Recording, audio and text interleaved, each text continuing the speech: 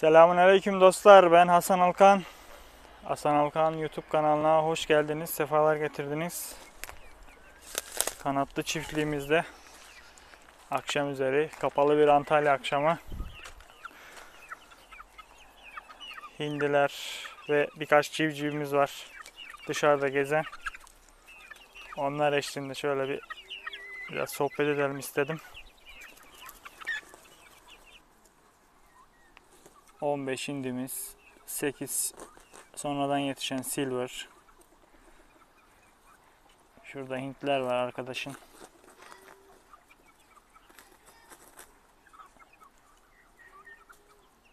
Gayet dışarıyı buldular ve geziyorlar. Tamam hindiler cinsiyeti 15'te kaç olacak? Ona göre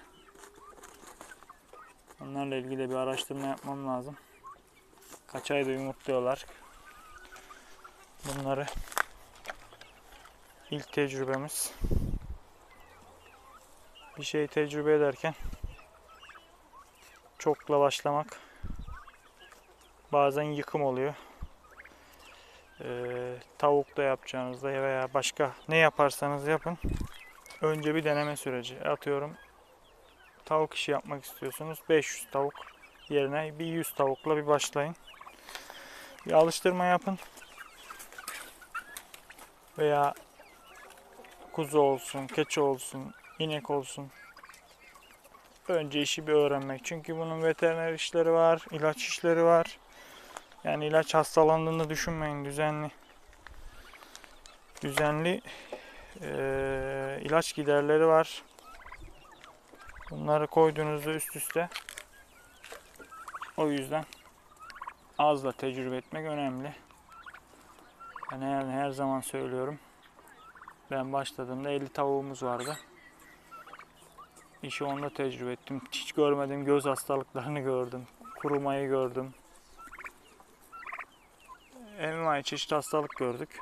Bundan dolayı arkadaşlar sayı önemli. O yüzden hindi şu an 15 tane hindi var. Cinsiyetleri de bilemiyorum yani daha çok çözemediğim için. Çok kızaranlar büyük ihtimalle erkek olacak. Şöyle gezelim.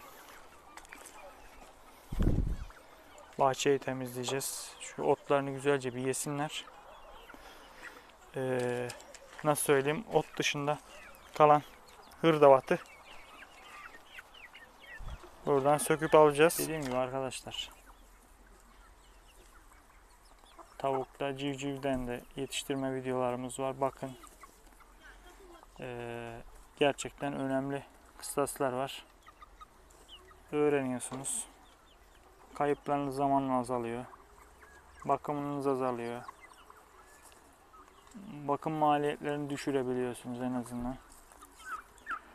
Diyorsunuz ki dörtgen, üçgen, beşgen bunu yiyorsa şununla şunu yer diye en azından onu yapıyorsunuz. Yani birden olmuyor. Bilmediğiniz bir iş gibi düşünün yani.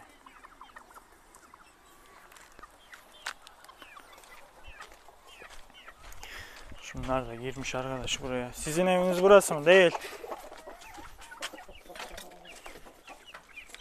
Şunlar bir hava alsın 2 dakika diye. Kapadık. Kapamaz olaydık. Dışarı dışarı dışarı. Bu Hintler bir iş kesiyor bana. Götüreceğiz artık da. Şık şık şık.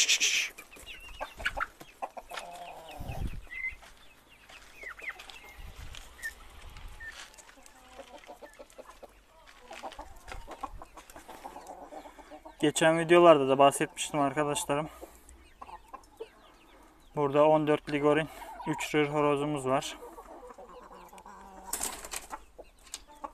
Ee, buğdayla, arpayla, artıklarla 1'e kadar düşen yumurta sayısı sonra yumurta gezen bir yemini alınca gezen tavuk yemini şu anlarda 9'a kadar çıktı bir hafta 10 gün içinde.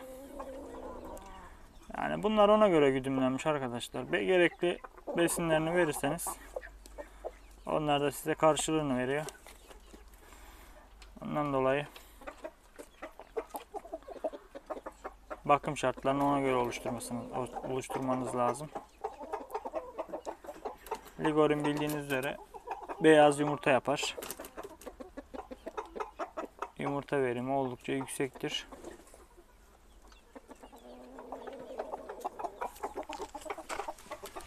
Bakayım bir.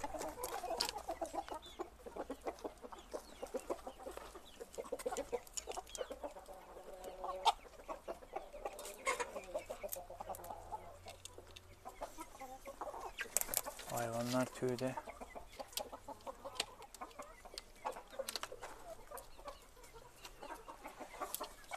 Dediğim gibi bakın şu saatte geldim. 3, 5,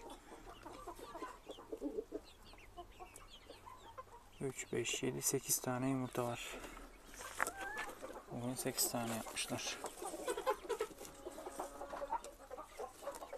Şöyle beyaz yumurta. Yumurta gördüğünüz üzere bir tık büyüğü olan var, bir tık küçük olan var. Kafalarına göre yumurta yapıyorlar. Bazen bir de şuraya yapıyorlar ama yok gibi bugün.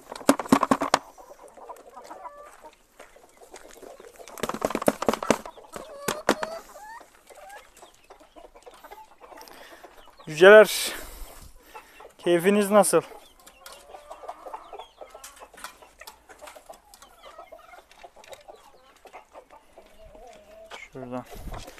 Yumurtalarımızı alalım.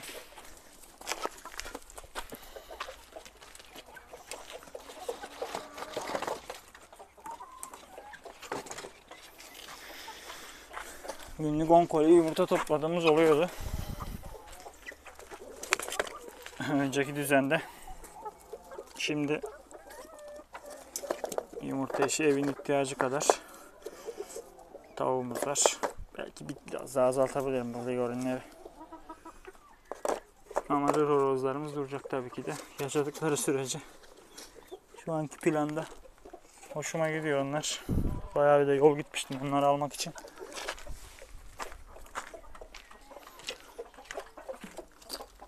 Şöyle koyalım.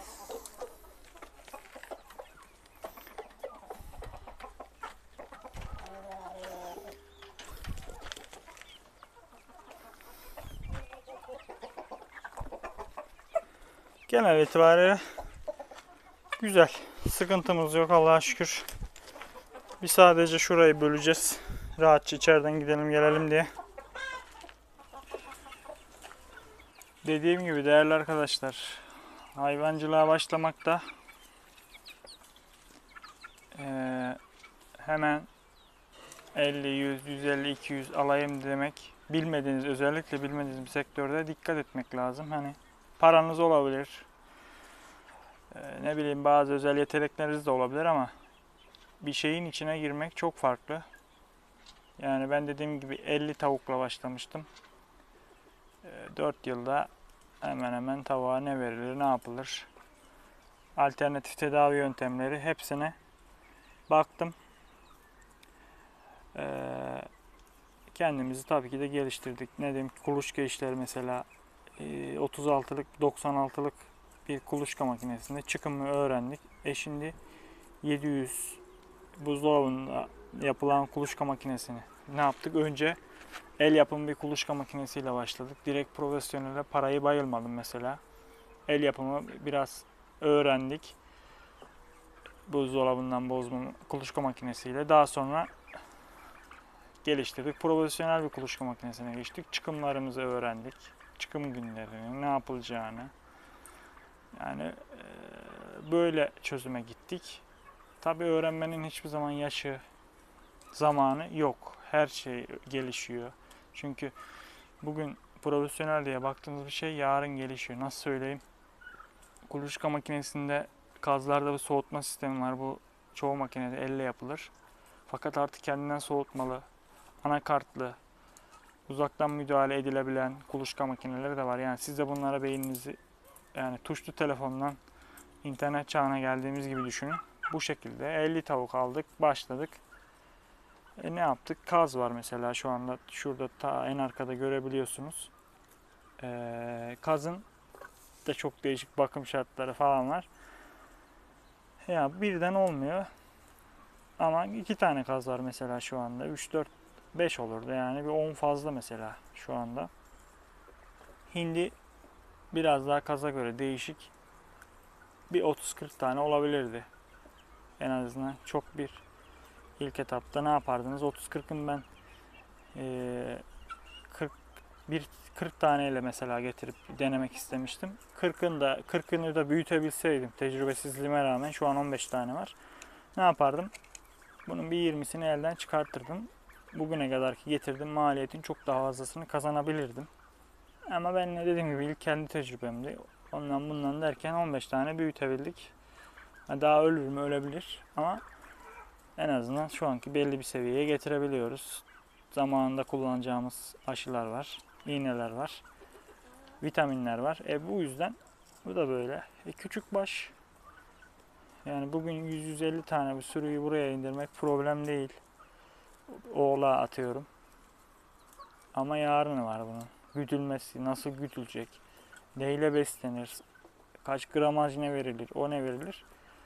Ama ne olur 3 tane 4 tane getirirsiniz bir öğrenirsiniz. E büyük başta da bu aynıdır. İnek olsun, keçi olsun. Yani biri dışından bile verse bilemediğiniz bir yerde tökezleyebilirsiniz. O yüzden hani zaman zaman sorularımız oluyor. İşte 200 tavuk ne kazandırır, 300 tavuk ne kazandırır, 500 tavuk ne kazandırır? Bu bakım arkadaşlar. Sizin ilgilenebilme şartlarınız. 500 tavuktan 450 yumurta da alan var, 250'yi geçemeyen de var.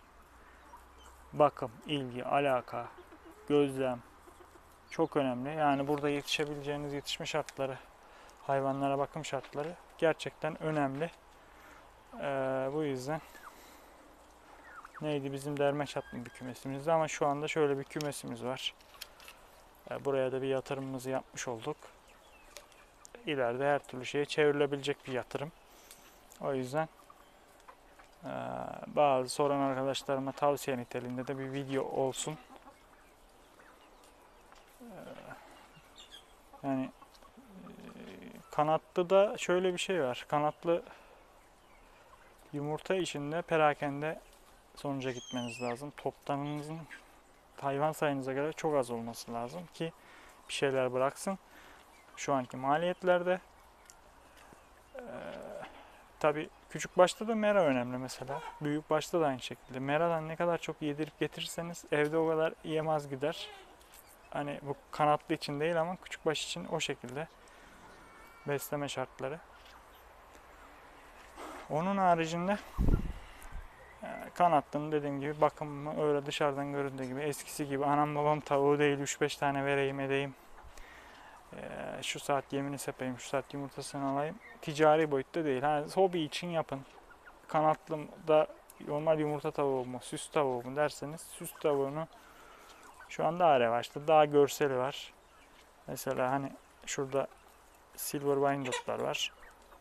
Daha görseli var. Mesela ona göre fiyatı, yumurtasının fiyatı, civcivin fiyatı ona göre değişmiş oluyor. Bu nedenle arkadaşlarım size böyle küçük küçük tavsiyeler olsun. Kanalıma hala abone değilseniz sağ alt köşeden abone olup ve videomuza da like atarsanız kanalımız gelişip büyüsün. Değerli dostlarım, izlediğiniz için, sabrınız için çok teşekkür ederim. Herkese hayırlı, huzurlu, bereketli günler dilerim. Kalın sağlıcakla.